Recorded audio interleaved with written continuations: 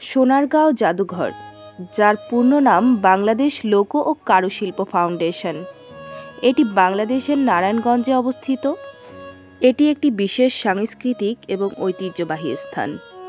আজকের ভিডিওতে আমি জাদুঘরের ভিতরের সমস্ত কিছু ঘুরে দেখাবো। আশা করি ভিডিওটা ভালো লাগবে। উনিশশো পঁচাত্তর সালে এটি প্রতিষ্ঠিত হয়েছিল। পাল সাম্রাজ্যের মুদ্রা, গয়না, পোশাক পেন্টিং এবং ভাস্কর্য সহ বিস্তৃত ঐতিহাসিক নিদর্শন নিয়ে এর যাত্রা শুরু করে। জাদুঘরটি প্রাচীন সংস্কৃতির সংরক্ষণ এবং দেশের সাংস্কৃতিক ঐতিহ্যের প্রচারে অবদান রাখবে বলে মনে করা হয়। এটি symbol of nation pride and identity হিসেবে স্বীকৃতি পেয়েছে।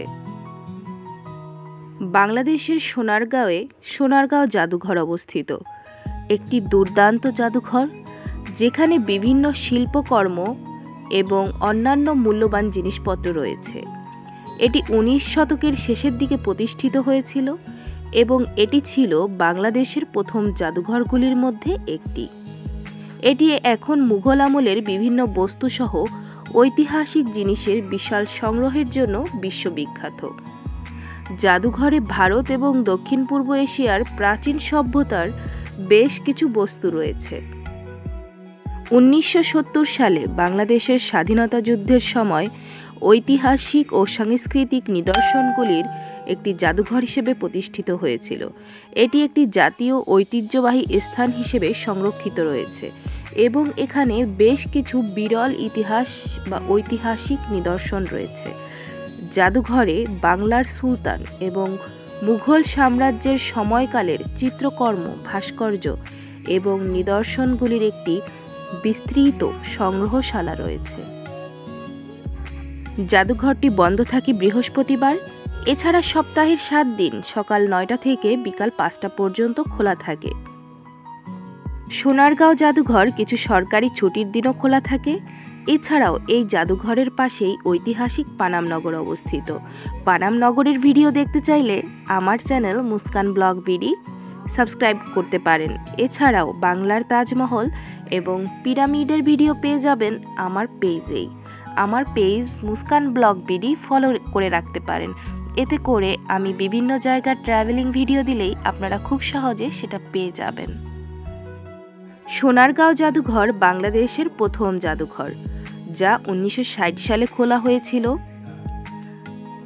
এই অঞ্চলের প্রাচীন প্রশাসনিক ও বাণিজ্যিক কেন্দ্র ছিল এটি। জাদুঘরে ভাস্কর্য, মুদ্রা, শিলালিপি পেন্টিং এবং কাঠের খোদাইয়ের মতো অন্যান্য পুরাকীর্তি সহ ঐতিহ্যবাহী জিনিসের একটি বড় সংগ্রহ রয়েছে এখানে। এছাড়াও মুঘল আমলের ব্যবহৃত বিভিন্ন ঐতিহ্যবাহী রৌপ্য ও স্বর্ণালঙ্কার, পোড়ামাটির ছবি, গহনা এবং অস্ত্র এখানে প্রদর্শিত রয়েছে।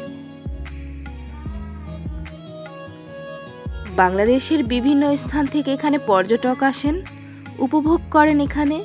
সেই মুঘল আমলের ঐতিহ্য। এছাড়াও এখানে রয়েছে জয়নুল আবেদিনের চিত্রকর্ম, নকশিকাঁথা, জামদানি।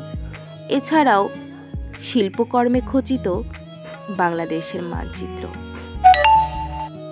হাতের সুনিপুণ দক্ষতায় ফুটিয়ে তোলা হয়েছে নকশিকাথার মধ্যে লাল সবুজের বাংলাদেশ। আমি চেষ্টা করেছি আমার ভিডিওতে বাংলাদেশ লোক ও কারুশিল্প জাদুঘরের খুঁটিনাটি সমস্ত বিষয় আপনাদের সাথে শেয়ার করতে, এর ঐতিহ্য, এর ইতিহাস, এর সংস্কৃতি এবং এর ভিতরে দেখার মতো কি কি আছে সব কিছুই আমি আপনাদের সাথে শেয়ার করেছি। আমার ভিডিওটা সম্পূর্ণ দেখার জন্য আপনাদের সবাইকে অসংখ্য ধন্যবাদ। পরবর্তী আরেকটি এপিসোড দেখার জন্য আপনাদের সবাইকে আমন্ত্রণ জানিয়ে আজকের ভিডিওটা এখানেই শেষ করছি। ভালো থাকবেন সবাই। আল্লাহ হাফেজ।